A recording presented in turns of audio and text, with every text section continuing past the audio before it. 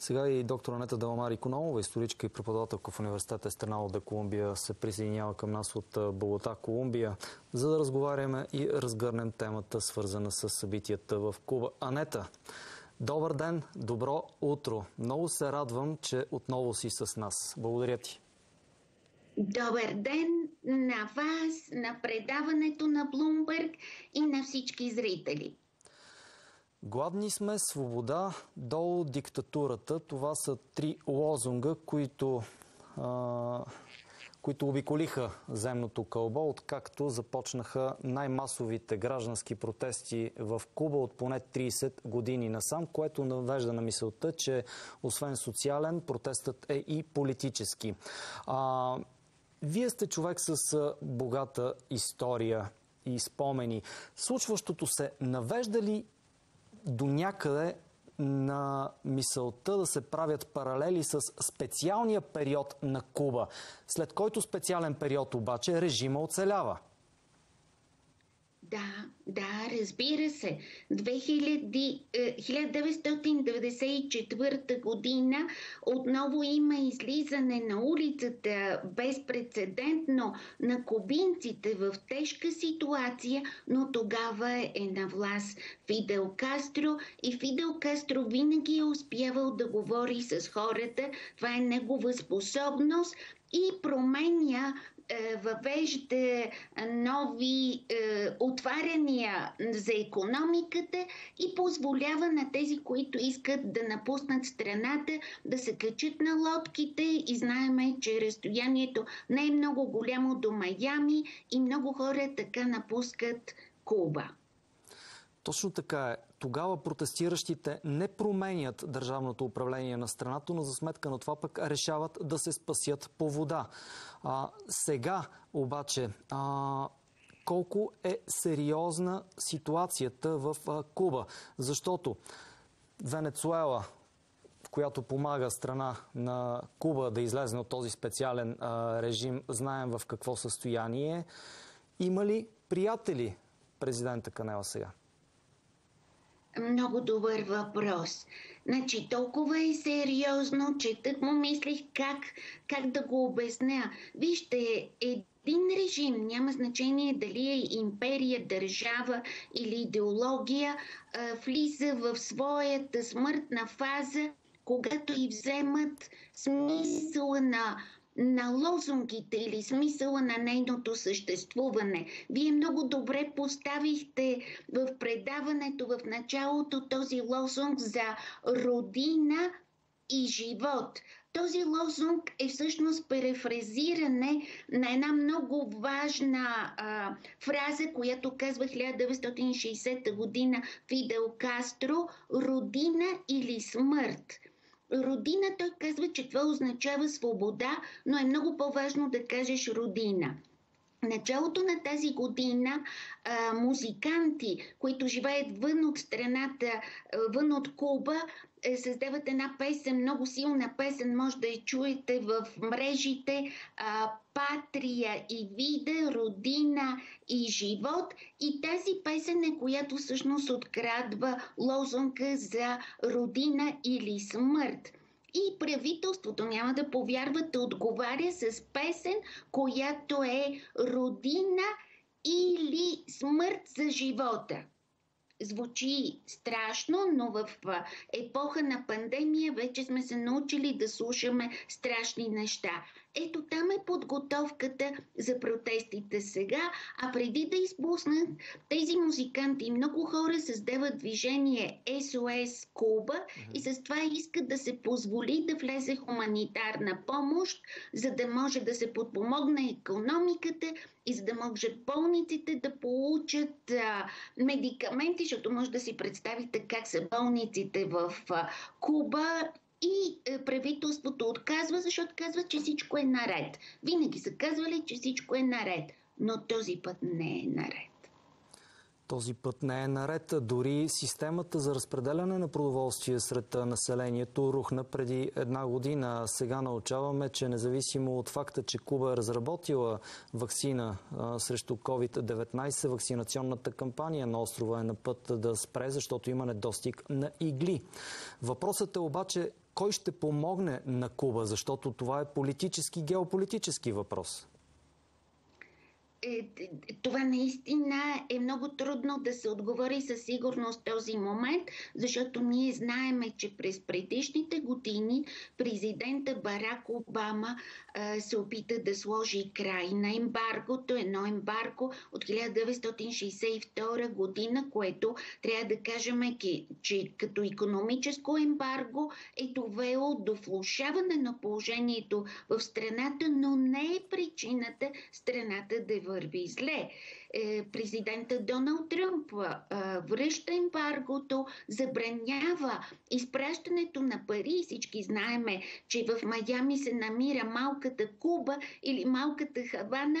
Вече не знам колко милиона души живеят там кубинци и спирането на изпращането на пари е затруднило положението. Но всички кубинци които имат роднини в чужбина, получават помощи. Защо интернета от 2018 година имат мобилни телефони и могат да ползват смарт телефони, да ползват мрежа, защото тази мрежа идва отвън от страната и сметките много често ги плащат роднините в Майами, защото нямат пари в Куба. Значи няма пари, няма, е, как да кажа, и има надути цени. Сега това е много интересно. Русия е изпратила хуманитарна помощ и се оказало, че това, което е изпратила, се продава а, с цени на пазара в Куба. С две думи, е, хората са свикнали да нямат.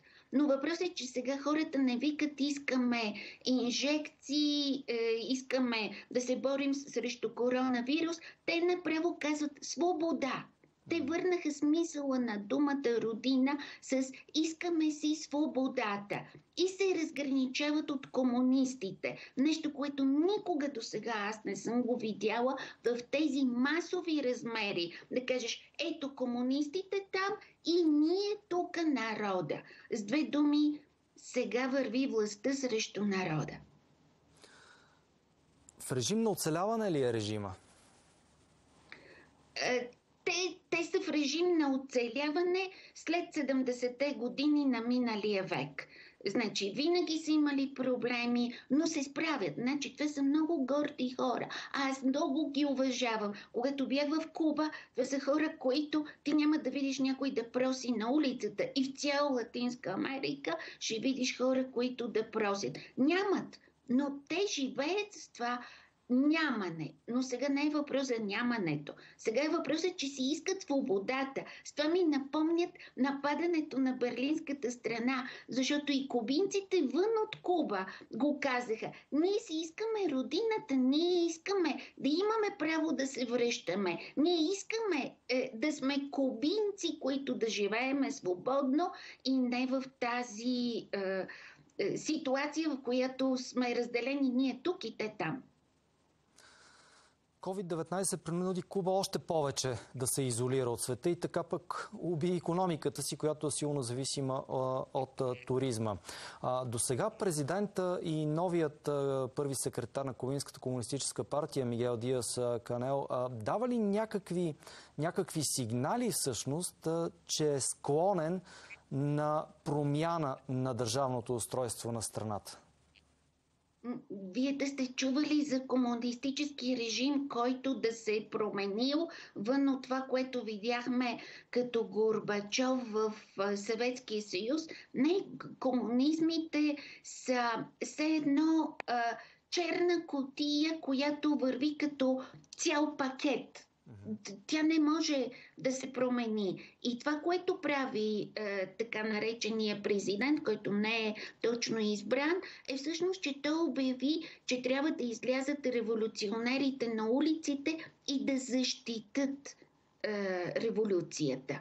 С две думи, улиците винаги са били на тази партия, която организира манифестации, всички митинги. Но сега за първ път тези улици са пълни с хора и това го виждаме, защото тук в социалните мрежи получаваме снимки, видеоматериали. Интернета не е точно спрян. Е, но на моменти се спира на места и всичкото се изпраща и вече три дена сме залепени за, да, за мрежите и да виждаме какво става. Но президента, той няма да отстъпи назад. Той няма къде да отстъпи. Няма, няма как да се промени тази система. Слабост на президента ли е а, факта, че репресивният апарат на Куба не смазва протестите? Не казвам, не мисля, че е слабост. Просто да си президент на една държава след Фидел Кастро е просто най-голямото нещастие. Защото Фидел Кастро умееше да говори с хората. Сега, той е лидер, Фидел Кастро. И президента в момента на, на Куба, той не е лидер. И, и няма как да го подкрепят, но сега това, че са решили да използват е, сила. И че има изчезнали повече от 150 души, има списък на изчезнали. И вие в момента пускате и видеото, където Дина Старс виждаме. Това е, е ютубърка от Хавана, която участваше в програма в Испания и на живо с още е, трима участници и извикват на вратата. Звънят и извикват и казват трябва да ни придружите. Тя се връща и с а, глас треперещ в началото, но след това твърдо казва ако нещо се случи тук пред испанската телевизия, аз обвинявам правителството и излиза. Той се едно на мене сега да ми звъннат на вратата и аз да изчезна от екрана. Съединените американски щати затегнаха при администрацията на Тръмп примката, което коренно се различаваше, както и вие споменахте, от позицията и политиките на президента Обама и вице-президента Джо Байден на времето, който искаше да изкара Куба от списъка на държавите спонсориращи тероризма, нещо за което пък Тръмп отново върна Куба лентата назад, за да спечели кубинските избиратели в Флорида, които са антикомунистически настроени по същество. Но не бива да забравяме, че пък и Куба излезе от почти десетилетието на економическа депресия репресии благодарение на идването на власт на Владимир Путин в Руската федерация, който отново а, а, постави Куба в а, централно място в външополитическите интереси на, на, на Русия. Сега въпросът е какво да очакваме като действия от двете, двете сили по отношение на Куба.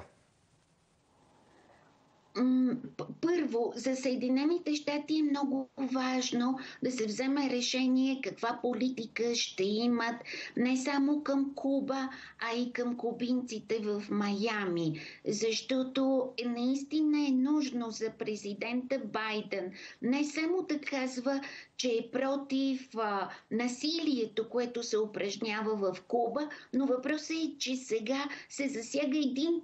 Е, засяга се най-важният въпрос за този континент от миналия век. Кубинската революция беше, която сложи, а, как да кажа, Таз, това е разделяне на континента на континент, където е Организацията на американските държави, създадена 1948 година в Богота и където щатите ръководят в студената война своето влияние и една Куба, която е малка държава и се противопоставяше. Значи, трябва да се изясни положението, защото ако не се изясни, е, няма бъдеще. Вижте, хората са готови да останат на улицата, да протестират така както тук в Колумбия вече вървиме към трети месец към протести на младите хора. Тези млади хора не можеш да ги върнеш. Мисля, че и президента Путин, макар че е много далече от Куба и знаеме, че в момента летат 12 е, самолети седмично с туристи е, руски, които са в Варадеро и могат да празнуват и да правят каквото си искат на свободна територия, докато кубински народ няма какво да яде. трябва да изяснат положението. И това означава да настъпят нещо, което никога не са го говорили. Че тази страна има нужда да бъде оставена и от Штатите, и от Русия.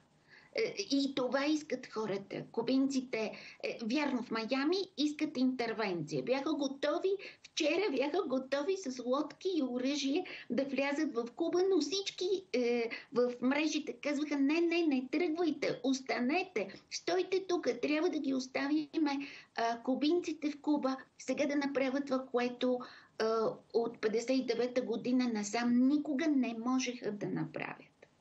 Битката за Куба но да се води от кубинците. Това е. Мисля, че е това, но ще го видим следващите дни и се надявам много да продължим тези разговори, защото Латинска Америка се тресе. Както казват инките на времето, Пача Кутек, това са време, време за дълбоки промени такива промени, от които Латинска Америка няма да излезе същата, но много кръв се лее. Тук имаме 81 души убити за 3 месеца. И... Говорите за, за Колумбия. За Колумбия, да. Да, да, да. И се опитват да докажат, че нямат право хората да протестират. Говоря за президента на държавата. Демократичните права са засегнати много жестоко. Много ви благодаря. Анета, определено регионът е показателен за това, че се намираме в период на мащабна трансформация, при която системата за сигурност и на международните отношения в момента старата такава, каквато я познавахме, не функционира и се наместват нови взаимоотношения. А показателно е, че регионът е част от тази трансформация. Много благодаря, Анета. И аз благодаря всичко най-добро. Анета Деламар, економова, историчка, преподавателка в университета Стернадо де Колумбия с анализ за ситуацията в Куба и така както я виждат по-на юг.